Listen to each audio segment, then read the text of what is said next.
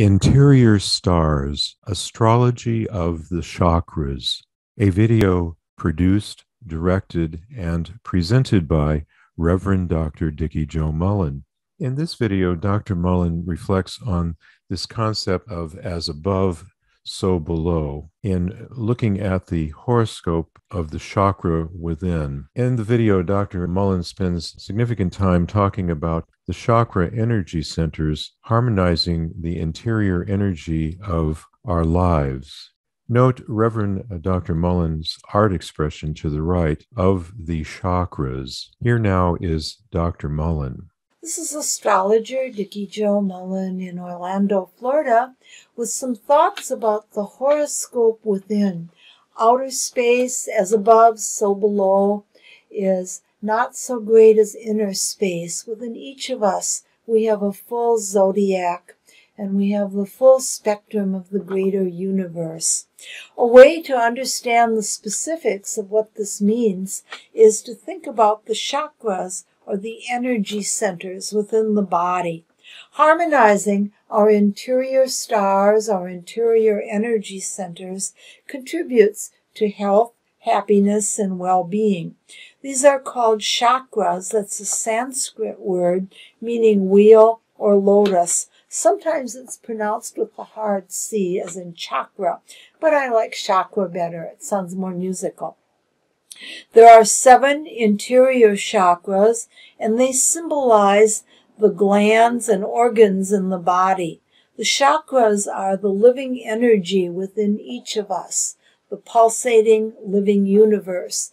Think of pictures you might have seen of the sun or the moon with faces drawn on them. The universe is not a mindless blast furnace. It's alive and it lives within each of us. Colors, sounds, crystals, and fragrances are linked to each of the different chakras.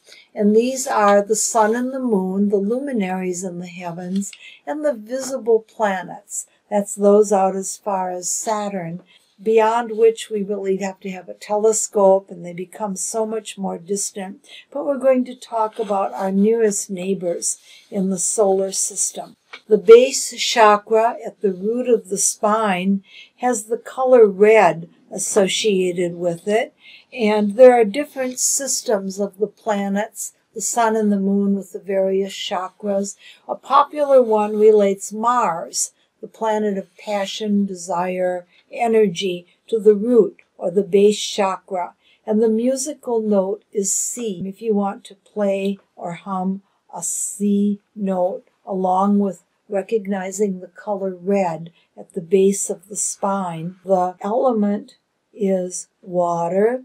The fragrance, uh, the sense of smell goes with the base of the, the base chakra. It relates to the adrenal glands and the urge to survive. The Sanskrit seed sound is lam, L A M, lam. And if you chant the lam, and visualize red um, and focus on the root of the body.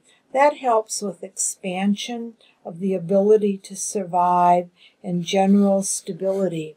The, that is what we would focus on in balancing the base chakra. A little bit further up the spine, aligning with the navel, we have the sacral center. The color is orange. The musical note is D natural. And the Sanskrit sound is Vam. The element is water. That's the sense of taste that has to do with the reproductive system. And it's the urge to create not only human life, but our other creative processes.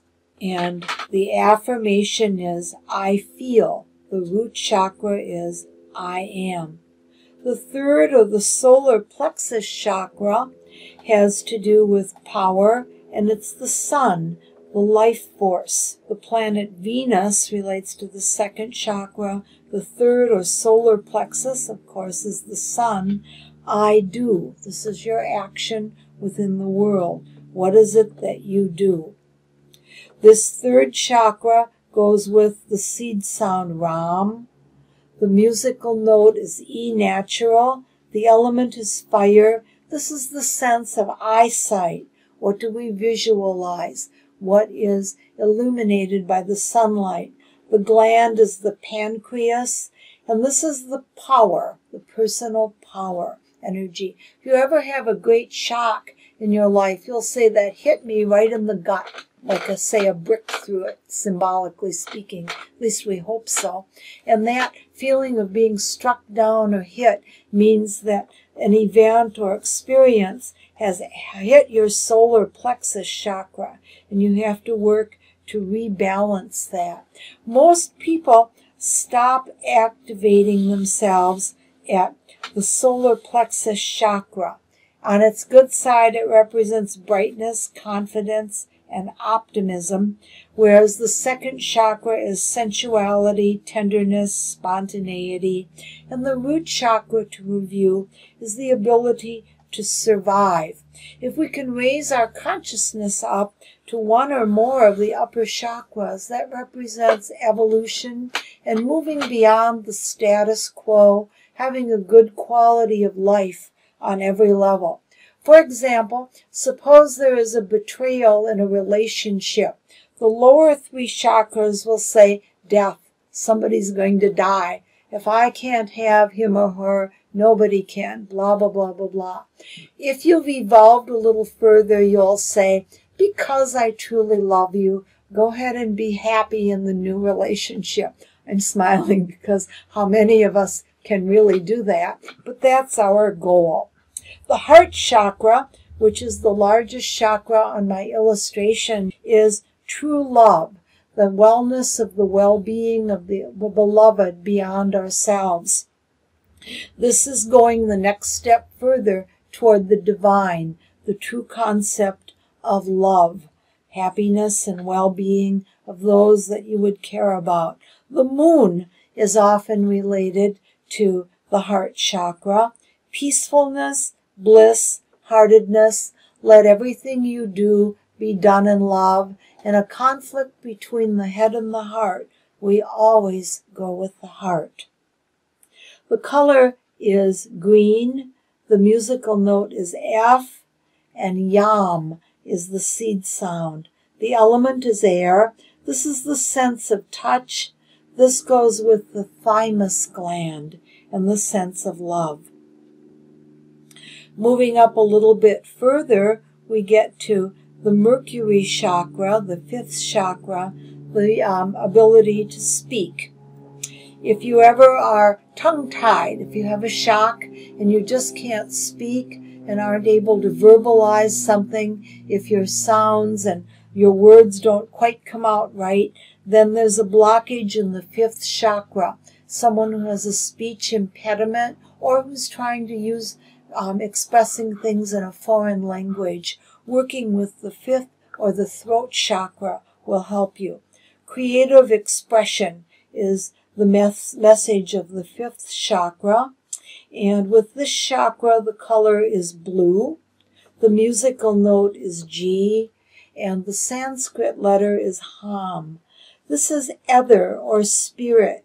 It's the sense of hearing. In a conversation, we have to hear in order to speak. The two sides of a conversation. The gland is the thyroid gland, and your urge is here to communicate. Next, we have the third eye, moving into the sixth sense in the center of the forehead. Those who are working with psychic ability will often feel the urge to rub the third eye or will feel an itching or a sensation there. I see, this is clairvoyance beyond normal vision, and it's the third eye. The sixth chakra relates to Saturn, the planet of parameters. Limitation, time, and seeing inevitable consequences will go with the activation of that higher chakra. The color is indigo and the musical note is A, and this is the Om. If you've been in a yoga or meditation class and the Sanskrit syllable Om is chanted or said, this is to activate that chakra. There are no earthly elements. We're going beyond the earth planes here. And there is no, uh, no tie with one of the regular senses. This is the pituitary gland, and the survival function is that of perception, higher thought, overcoming limitations. Finally, the seventh, or the crown chakra at the top, represents understanding. Jupiter, the largest planet, the planet of philosophy and religion, expansion, generosity, opening, is the seventh, or the crown chakra.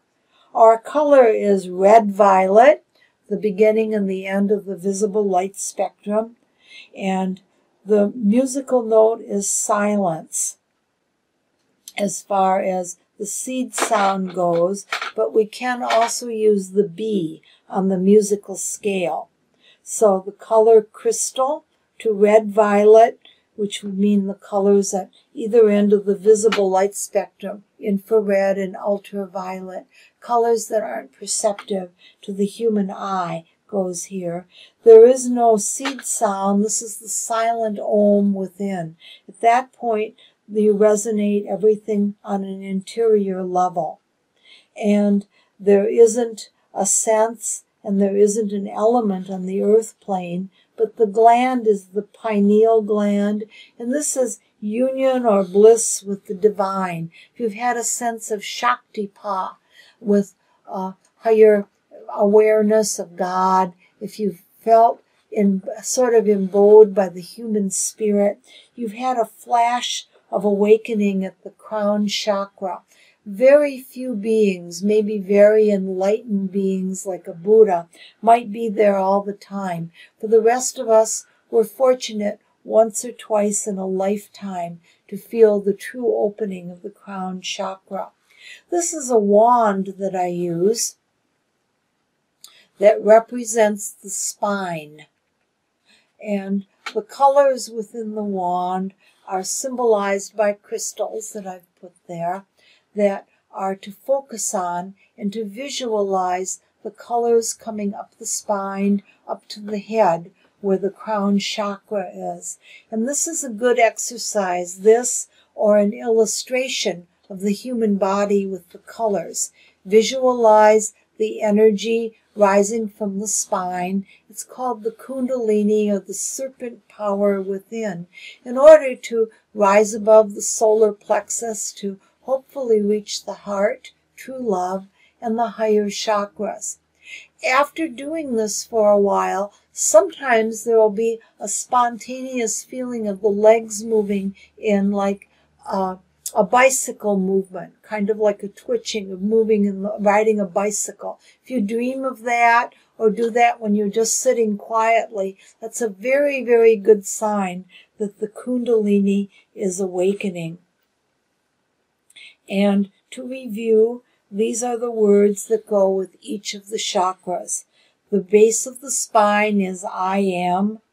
The second sacral center, the navel center, is I feel. The third of the solar plexus, I do. The fourth of the heart chakra is I love. The fifth of the throat, I speak. And the sixth or the third eye chakra is I see. And finally at the top is I understand. This is astrologer Dikki Jo Mullen wishing you a bright and beautiful journey through your horoscope and your journey of the celestial truths within. Reverend Dr. Dikki Jo Mullen, astrologer, psychic reader, and parapsychologist. Reverend Dr. Mullen provides astrology, psychic, tarot, and rune readings, as well as face to face and Zoom seances.